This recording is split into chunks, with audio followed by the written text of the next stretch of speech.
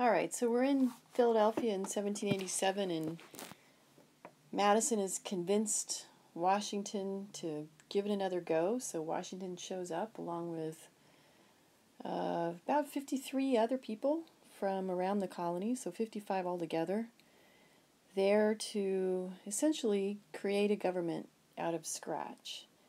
And the decision was made very early on to keep the proceedings um, shielded from public attention. So they had to seal up the windows and, and keep people from peeking in and listening to what was going on. So they're in this small wooden building for almost three and a half months in the middle of the summer in Philadelphia. And if, if you've ever been to Philadelphia in summer, it's hot and it's swampy. So they st- stuck it out under these um, pretty extraordinary conditions.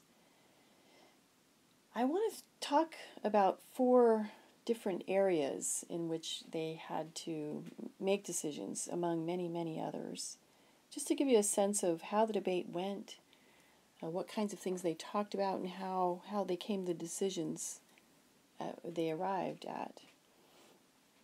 The, the first broad area is this conflict that I mentioned before that had emerged between the large and the small states. Uh, under the Articles, if you recall, each state had only one vote, and this was really not acceptable to the large states who were didn't get as many as much representation per capita as the small states did. But there were enough small states uh, to ensure that it was going to be impossible to get a fully proportional representation in this new government. So, as a compromise, they decided to have one of each, as I'm sure most of you are aware.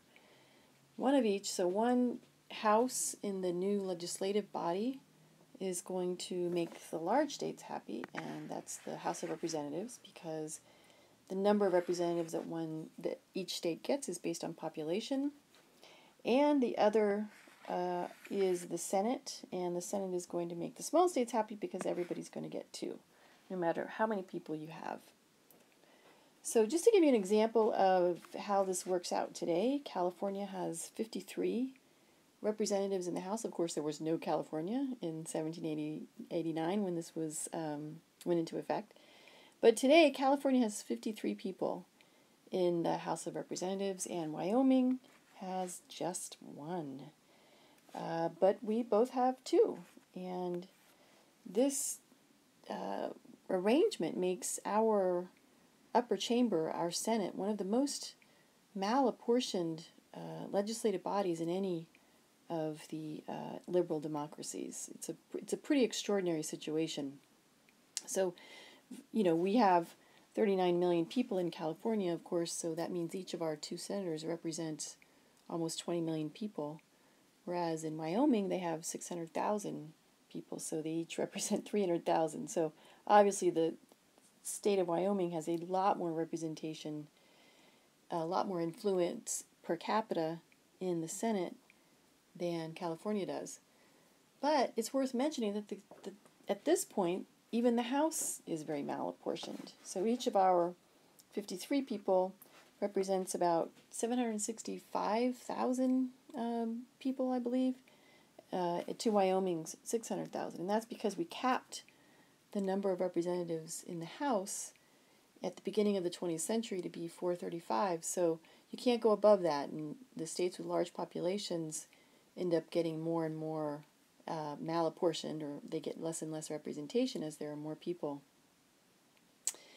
Before I leave this, though, I want to mention one more issue that was uh, on the table and very important, uh, and that was uh, the question of slaves when it came to the House, and specifically, um, when you're counting people uh, in determining how many representatives your state is going to have, do slaves count?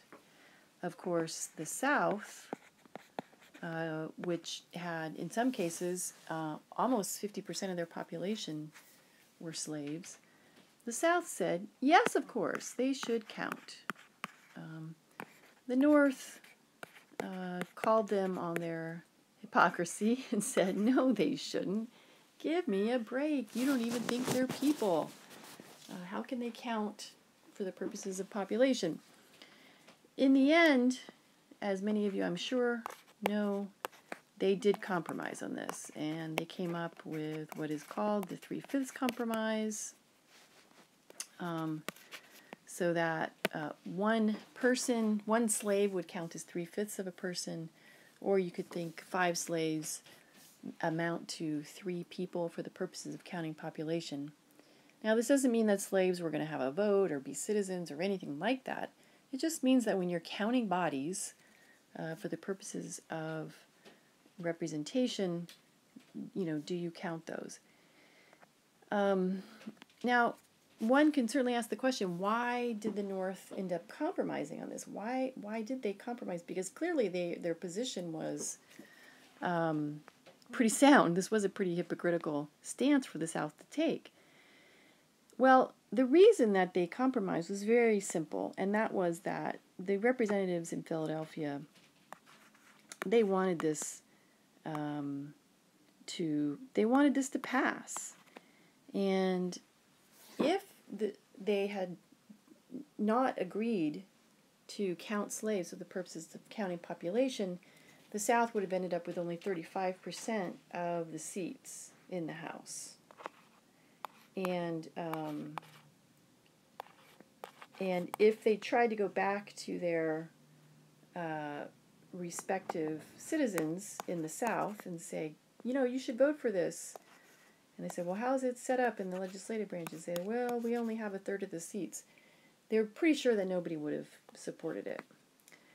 When they shifted to 45%, which is uh, the, uh, when they shifted to the three-fifths compromise, I mean, what ends up happening is that the number of, the percentage of the seats that the South gets goes to 45%. And they thought, they were pretty sure that they would be able to sell this. Um, to their citizens in the South if they could say that they got 45% of the seats. So that's essentially why we have uh, two houses.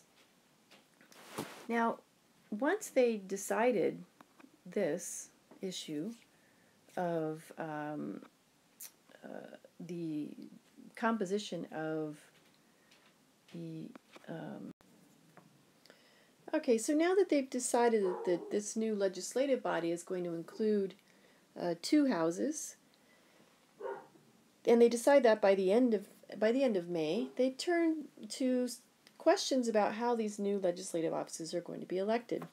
And the first uh, topic for discussion is how the House members are going to be elected.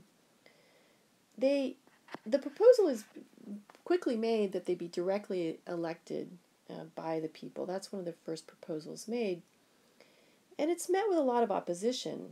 Uh, and one of the things that I want to stress in this discussion is that the delegates in Philadelphia were not there really to empower uh, the average citizen. This was really not, uh, you, you know, an instance of trying to promote uh, direct democracy in a in any widespread sense.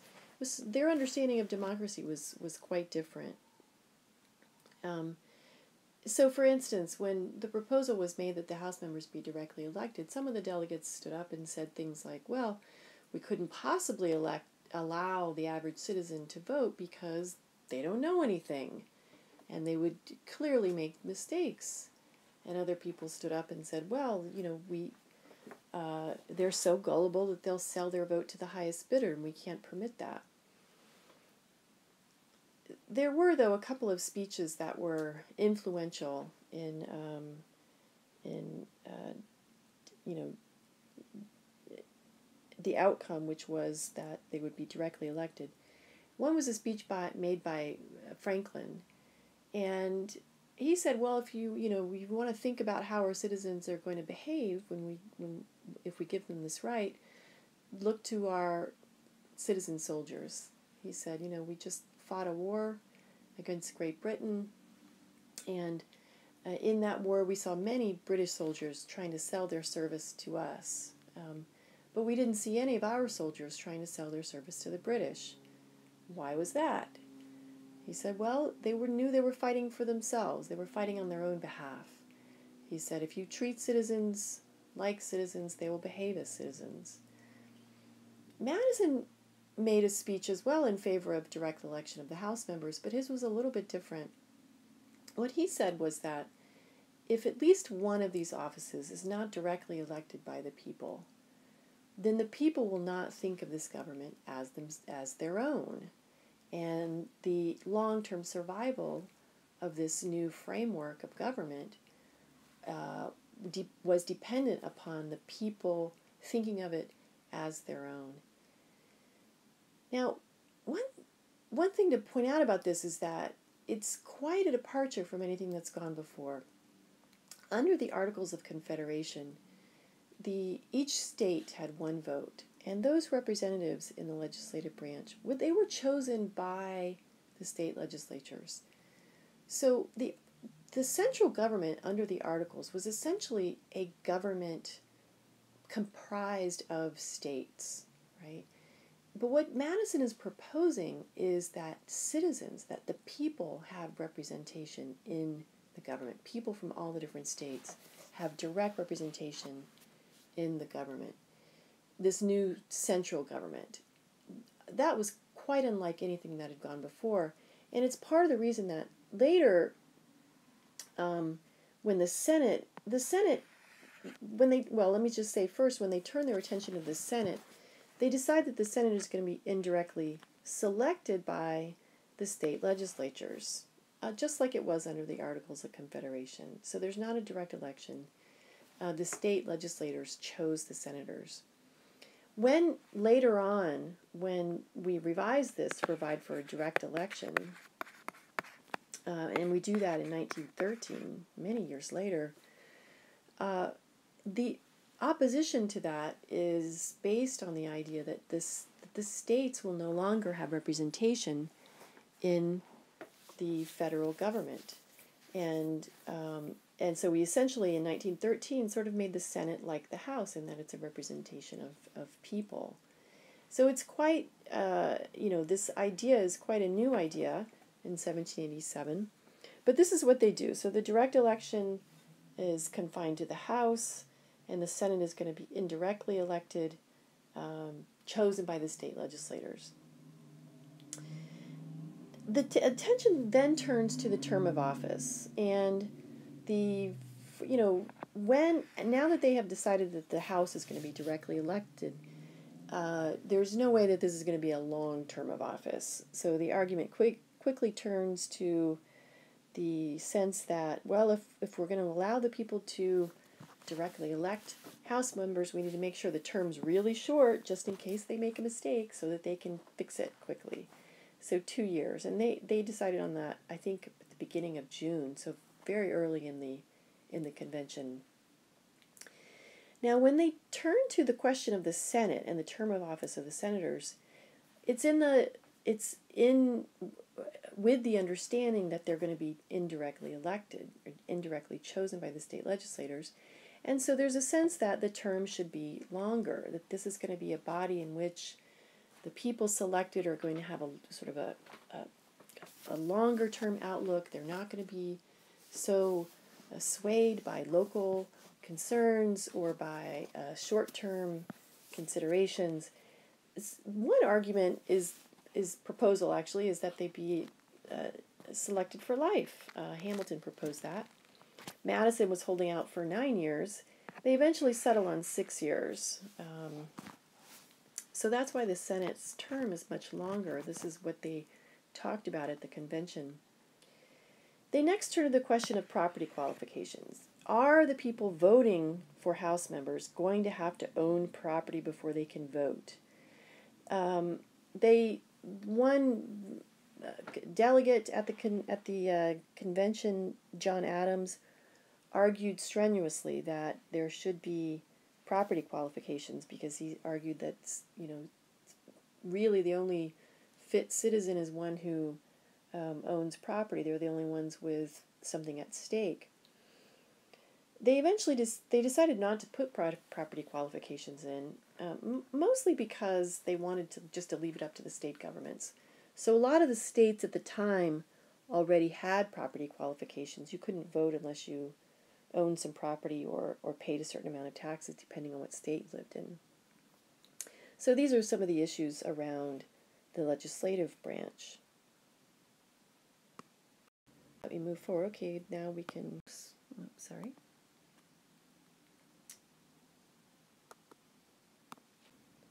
Find the next slide.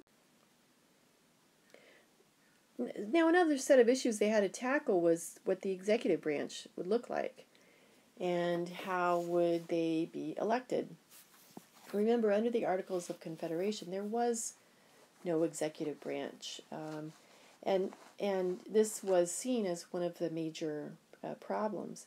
When they discussed uh, the executive, however, a lot of the attention turned to the uh, executive's role in foreign policy, and uh, the really the the main debate which was between whether there would be a, a chief executive uh, in a single person who who might be called a president that was proposed at various points or whether there would be a council of people. Madison's proposal was for three people who together would be the executive power. There were a couple of reasons that they ended up uh, kind of settling on the idea of a single person. One was was that um, you know, in in the arena of foreign policy, the the really the model that they had was strong executives, uh, you know, kings, and the idea that one could send a council of people, maybe three people walking arm in arm to sit down and meet with the king, uh, seemed ridiculous uh, to some of the people at the convention. And so there was a strong sense that there needed to be a single person who could carry the um, the uh, the agenda of the United States in an undis, undivided way to another chief executive was one of the reasons they settled on the idea that it would be a single person and not a group of people. Clearly, though, from the writings of people who were at the convention, it was it was the the decision was also um, influenced by the presence of George Washington. There was a sense that that everybody that was there kind of knew that Washington would be the first one that they would select. And you know, much of their concern centered around the the, the fear that if they did settle on one person, that that person would crown themselves king and sort of take away uh, the uh, the electoral power. Now, everybody knew George Washington, his, and they knew that of all the people um, uh, on earth, George Washington would be, would be really the last person to crown himself king. So they could feel, they could sort of rest assured that that wouldn't happen if Washington was in fact selected as the first uh, president. Um, but there was also there were also people there. It was clear that um, when it came to the question of the term of office, you know, they didn't put anything in there. There was so they decided on a single person. Uh, they did not put any language um, about the term limit. They decided on four years as the term, uh, but they didn't put any language in there about a limit. And uh, some historians have argued that this is partly because some of the delegates thought that when they selected a president, so if they selected Washington, for, is, for instance, Washington would serve for the rest of his life. And then when he passed away, they would select someone else who would then in turn serve until, the, until they died. Um, and so when Washington uh, stepped down after two terms, he was met with a lot of opposition. People said, no, no, no, you, you wait a minute. We didn't intend for you to step down. So they didn't put a term limit in, and there's some suggestion that that's that's what people had in mind that they would serve actually for very very long terms. The other question was how that person would be elected. Now the convention went came back into this many many times. They had a very hard time coming up with a decision on this. Uh, one suggestion was that they be directly elected by the people. That was going nowhere. I mean, if they couldn't even agree that the senators would be going to be directly elected, there was no way that this convention was going to agree that the chief executive would be uh, selected by the people. So another suggestion was that they be selected by Congress, uh, which is par- the parliamentary model. That was what was already happening in Great Britain. It was what they were familiar with in terms of the prime minister, of course, not the not the not the king, but the prime minister. Uh, but they said, well, we don't really, we want to do something different than, we don't want to be like Great Britain. So some people suggested maybe that they be selected by the states, just as in the same way that the senators were going to be. Uh, but the that was met with the criticism that they didn't want this new federal government to be controlled by the states. It was supposed to be um, uh, controlled by Congress. So they really were having a hard time coming up with any answer to this question. Finally, in September, so they've already been there for you know more than three months, someone suggests something that's called an electoral college, and the electoral college is going to be um, people that are selected by the state legislatures, who would then uh, vote on who the president would be, and if uh, nobody managed to get 50% of all the electors to agree that the election would move into the House of Representatives and there would be one vote per state. Now, by this time, the delegates were so exhausted. They wanted this to pass, they wanted to get out of there. They couldn't come up with anything else, and so they agreed. Ah, that sounds great. Let's, okay, let's do the Electoral College. Now, as a measure of just how difficult this decision was, they put the language in there. I mean, that paragraph that describes the Electoral College is one of the most convoluted and difficult paragraphs you will ever find. Um, and it's clear that a lot of the delegates didn't really understand it either because it was actually technically incorrect. It produced a tie especially in the race of 1800, one of the most contentious uh, elections. I just the language just did not work, and so they amended the Constitution in uh, 1803 to to actually fix um, the Electoral College language. Now, we still have, of course, the Electoral College. That's how we select the president, but it works very differently than it was understood by the people who wrote it into the Constitution. We haven't amended it or anything like that since the beginning of the 19th century, but it works very different, and I'll talk about that later when we talk about uh, elections. The final set of issues I would like to bring to your attention are those that were in, involved in the conflict between northern and southern states. It was a very contentious set of issues. Uh, they would bring these issues up and then couldn't come to an agreement, table them, come back to them later, couldn't agree, table them. Uh, the northern and the southern states were quite different than one another. We're all familiar with that. The north, for instance, um, made up of merchants, uh, factory owners, of pre industrial economy. They haven't quite uh, reached the Industrial Revolution. They can't make things as cheaply as Great Britain. They haven't achieved the same economies of scale, but they're on their way, and so they're they're they're makers. Now the South, though, is is really an agricultural economy. There's some trade, and uh, of course, it's of course based on a foundation of slave slave labor. Now, the North comes to the table with certain kinds of demands about the economic powers that Congress is going to have. The North wants Congress to be able to tax imports. Now, why is this important to the North in particular? Well, it's because the North uh, is trying to compete with Great Britain. And uh, if they can tax imports coming from Great Britain, they can make their products relatively more expensive so that people will buy the things that are made in the north. It's a form of protectionism. It's sort of like putting tariffs on or import taxes so that people don't buy things made in China today. Uh, they also wanted uh, to make sure that Congress had the ability to dictate that trade into and out of the United States be on U.S. owned ships. Now, this was what was called the Navigation Acts. Um, it, it's it's hard to imagine how important this was back back in the day because we don't think of that anymore. But, but most of the ships were owned by people from the north, and especially people from New York, and it was extremely lucrative if you could uh, get control over uh, whose ships the stuff was going to be tra- traded in.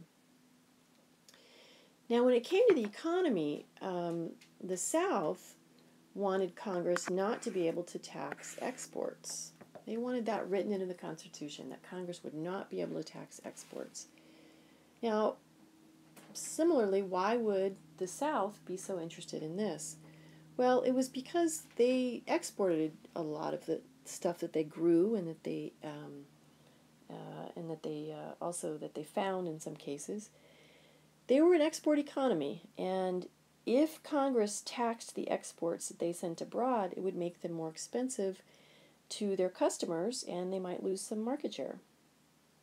And so, between these two, of course, these are very difficult to compromise. There's not much middle ground before between these two, and um, you know when they were discussing these things, they were ha- having a hard time finding any kind of compromise. Another set of issues, though, had to do with the slave trade.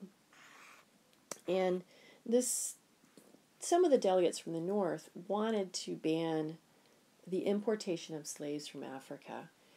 Um, and the South, of course, wanted to keep um, slavery and the importation of sl- slaves. Uh, now, they didn't want Congress to be able to ban those things. Now, the issue of slavery itself, I wrote this here, but the issue of slavery itself was never really on the table. No one ever thought that there could ever be an agreement on a constitution that banned slavery. The, the South would have clearly have just walked out, um, would have ended. So it was never, but the issue of importing slaves uh, was pushed at the convention. Now, what happens at the convention is a really good example of lawmaking in general, of the compromise that sometimes is required in order to uh, make progress on laws. And it's a good example also of the analogy, um, if you've ever heard of law compared to uh, sausage making. It's you end up with some something you kind of like, but you don't really want to see how it's made. Um, lawmaking is something sometimes like that. And in order to make progress on these seemingly unrelated issues of uh, exports and imports and slave the slave trade, they um, had to include all of them. Now, let me just illustrate what I mean. One way that you can think about this is to um, assign each one of these positions a letter. Let's say that this is a this position here is a big C because it's a strong um, it's a it's a strong trade position. It gives Congress a lot of power. So we're going to call this a big C.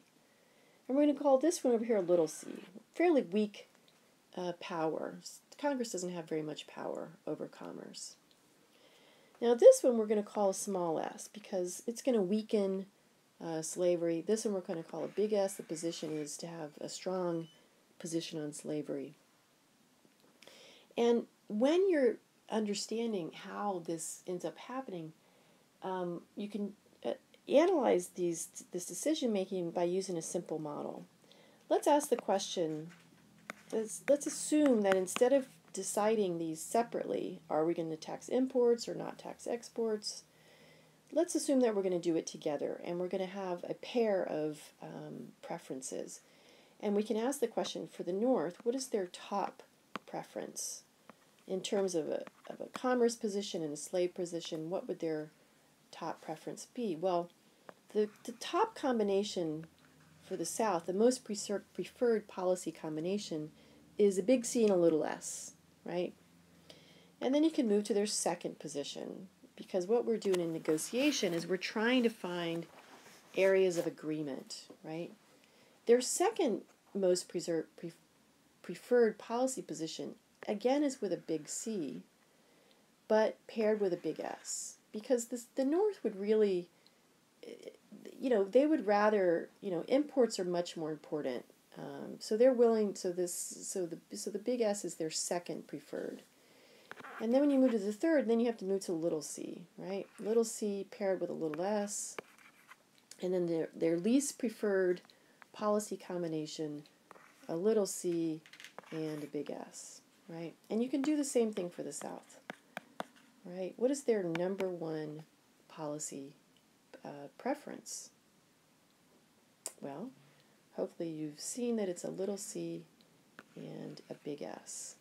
So for the South, keeping slavery and the slave trade is much more important than anything else on the table. And you might notice right off the bat that is the opposite, right? That's the least preferred policy combination for the North. So no wonder they're having such a hard time coming to an agreement. All right, let's let's then look at their second preference. Well, for the South, uh, the second preference is a big C and a little s, a big C and a big S. Slavery again, most important, and so they would so so the big C um, is paired with that most important preference, and you'll notice, of course, this is the uh, this is where the area of agreement is. Now, like I said, on these issues, they had been going back and forth um, for months on these questions, considering them separately. Economy, one day, maybe a couple days later, the slave trade, and go back to economy. But there was a moment in August, in the third week in August, when um, uh, there's an important uh, exchange that takes place when uh, someone from the north notices that the Virginia delegation is actually arguing with people from the, from South Carolina and Georgia. And people from South Carolina and Georgia are saying, well, it's all well and good for you, Virginia, to give up the slave trade. We have swamps and our our slaves die in the swamps and so we have to import slaves. But yours manages to survive and so we'll end up having to purchase slaves from you, which we don't want to do. Now, somebody from the north picked up on that and said, wow, I didn't realize how hard it was for you, South Carolina and Georgia. Maybe we need to reconsider this opposition to the slave trade, the importation of slaves. Now, with that little give to for, for, or expression of um, empathy from the from the north to the south, um, there was uh, a moment when this people from the south said, "Oh, the uh, people from the north maybe they understand us," and uh, the governor of Pennsylvania at that moment says, "Oh, well, maybe these things may form the basis of a bargain among us," and they take it and send it to a committee and come back with an agreement. Now, what it what Gouverneur Morris from Pennsylvania might have realized is this precisely this possibility of moving to their second choice. Both parties moving to their second most pop, um, their second preferred policy combination as a way to move things ahead. It was almost as if Gouverneur Morris had a light bulb go off in his head. So they went off and um, sent it to a committee and the committee came back and proposed um, giving Congress the ability to tax imports at the same time that the slave trade would be kept in to the agreement. Now, it didn't end there, so that that represents, of course, this position here, but it didn't end there. Um, once this agreement was was reached, um, there was a kind of a almost like a spirit of um, you know mutual camaraderie or something like that, and there was an agreement that well if also um, if we agree to um, prohibit Congress from taxing exports, that um, South Carolina and Georgia will, with Virginia, try to figure out a way to um, make it not so onerous on South Carolina and Georgia to have to import slaves, and maybe drain the swamps or, or you know figure out a trade agreement between Virginia and not, not South Carolina, North and Georgia, and they agreed. Okay, uh, as long as you uh, agree that Congress will not have the ability to tax exports, we'll agree that um, in 1808 Congress uh, can ban uh, the importation of slaves. And we'll write that in. It was almost like, for the delegates there, it was almost like Christmas because they ended up getting uh, this as well, which is the third policy preference. The small c, no taxing of exports, that goes in there as well. And um, so does, in some, in some means, the banning of the slave trade. I don't know who came up with the idea of 1808, right? But but putting that date in there and saying, well, we'll we won't ban it now, but we'll agree that Congress can ban it in 1808, moved everything forward so that um, sort of all four of these positions ended up being in the final bill. I mean, in the final in the final uh, Congress in Constitution. This is the way lawmaking often happens. So, for instance, people argue, people criticize Congress sometimes, and they say, "Well, why are these unrelated things in this bill?" Um, and it betrays kind of a um, um, a naivete about the way the lawmaking process happens. Lawmaking is almost never a situation in which there is one policy on the table, both sides come, they debate it, they come to some kind of an agreement, everybody is in, in consensus about it, and then the law is passed about that one issue. M- much more often, in order for uh, an agreement to to take place and for a law to be passed, there's a negotiation among uh, issues that are uh, somewhat unrelated. And this is a facet of lawmaking that's it's uh, um, crucial to the success quite often. And we'll later in the semester look at some other examples of this. So I want to just point this out. So make sure that you know, you know what what ended up going into the Constitution and some idea about why that is. All right.